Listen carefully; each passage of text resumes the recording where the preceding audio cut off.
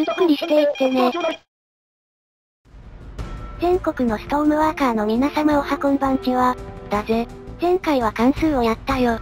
今回は構造体だ。なお先に言っておくと、今回は話半分で聞いてくれ。なんで？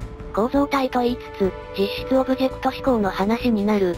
そもそもルアはスクリプト言語で、できるというだけで専門ではない。それじゃなんでここで話をするの？使えれば便利というのと、今からプログラミング勉強するなら覚えておいて損はないからだな。なるほど。まずは配列の時にちょっとだけ出てきた連想配列の話だ。これはディスプレイにボタンを実装するのを想定している。X と Y が座標、W が幅、H が高さ、ブールがオンとオフね。これを実行すると四角が出る。リスト型の配列にすると何番が何かわかりにくくなるから名前を付けるわけだな。ただし連想配列は長さのシャープに含まれなくなる。じゃあ法文が使えない？いや、ペアーズという関数を使う。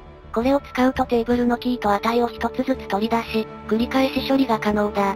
キーと値をテキストにして、実行するとこうなる。順番が変わってる。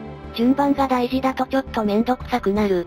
だがコード的には1とか2とかになるよりはわかりやすい。ちなみに余談だが、通常のいわゆるリストの配列には iPairs というのが使える。上の法文はコメントアウトした法文と同じ処理だ。これは1から10足すやつね。大括弧がなくなるので、処理が1行ずつなら文字数が削減できる時もある。なるほど。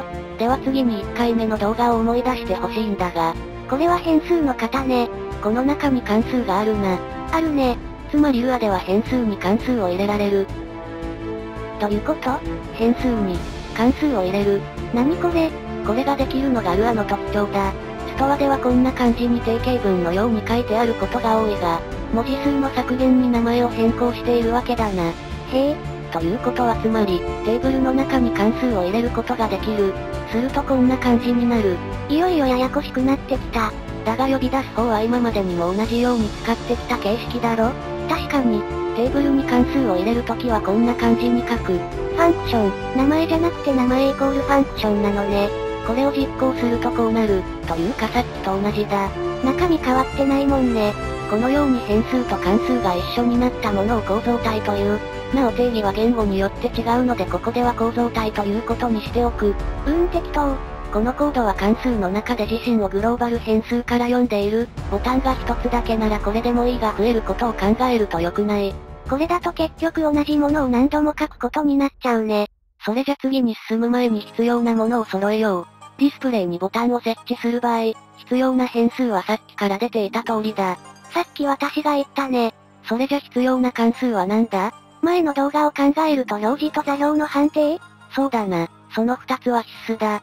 それとオンオフを切り替える関数が必要だな。あと処理の方に対する出力だ。変数を指定して読むのはダメなの？厳密に言えばダメ。そうなのか。あとボタンに表示する文字でも入れて実装する。するとこうなる。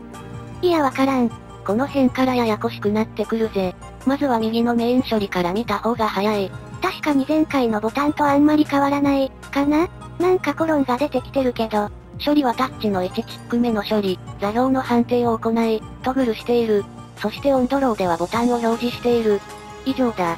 で、このコロンは何？コロンは関数の一番最初の引数が自分であるという省略形だ。この場合、引数に入れるボタン A というテーブル名は省略される。これを踏まえた上で左を見ると、最初の引数は何になってる？ディスになってるね。ここに本来ボタン A が入るけど省略されてるのか。そうなる。ゲットセットのところを見てくれ。何のことはない。セットではテーブルのオンオフを変更。ゲットではオンオフを返しているだけだ。ディスプレイや座標の判定も、テーブルの変数の中に座標や大きさが入っているため、右のメイン処理で使うときはより簡潔になる。でも左はめんどくさくなるのね。そうだな。これを実行するとこれまでと同じようにトグル式のボタンになる。とりあえずここまではいいということにして次だ。ほい。構造は作ったが、じゃあボタンを増やすとなるとコピペするわけにもいかんな。それじゃこれまでと変わんなくなるね。ということは、左のテーブルを作り出す関数を作らなければならない。ややこしくなってきたね。これをオブジェクト思考のプログラミングにのっとり、実装するとこうなる。ボタンクラスを作り、さっきと同じテーブルをリターンする関数、ニューを構築する。そしてボタン A はここで新たに作られる。わかりにくい。最初に言ったガルアはそもそもできるってだけで専門ではないからな。だがここまでを理解すると、ボタンを増やすのはどんどん入していくだけで OK になる。座標と大きさ、表示文字を指定して入するだけか。ボタンを作ったらテーブルに入れて法文で回すなりなんなりすればメインの方はかなり簡潔になる。実行するとご覧の通り、実質入を2行追加して法文をちょっと追記しただけでボタンをいくつも増やせるようになった。これ自体を実装するのは大変だけどね。だがボタンにもプッシュとかある。え？えー、関数追加するんじゃダメなの？まあそれでもいいんだが、今回はプッシュとトグルを分ける感じにしておく。共通部分は座標や大きさ、判定の関数だ。違うのはトグルかプッシュだな。トグルボタンはボタンの構造に加えてトグルの関数を追加する。プッシュは押した時と離した時の関数を追加する。でこの2つはボタンクラスという共通部分がある。専門的に言うと継承している。それで実装は？こう字が小さい。だよな。まず基本となるボタンを作っておく。さっきあったトグルとかはなくなってるな。あるのは変数とゲットとディスプレイと判定の関数ね。次に継承だ。新しく入の関数を作って中でボタンのクラスを作る。なるほど、その後変更するのか。そうだ、関数を追加したりしてリターンすれば継承が行われる。メタテーブルを使う方法もあるが、多分こっちの方がわかりやすい。あとはもうボタンを入していけば、リソースの限りボタンが作れる。へえ、オンチェックとオンドローはこんな感じだ。プッシュの処理を追加しただけだぜ。これを実行するとこんな感じだ。ABC はトグルボタンね。1と2はプッシュボタンになってる。ではこれをストアのルアにコピペして起動してみよう。そういえばこれゲーム内でのプログラミングだったわ。もうここまで一度もゲームの動画が出てなかったもんな。若干押しにくい。判定の範囲と大きさは要件証ってところだな。構造的には谷も色や形状などの変数が考えられるが、ここまで理解できればボタンの追加が楽になる。実際のオブジェクト思考はもっといろんな思考があるが、ストアで使うとしたらこの辺までだな。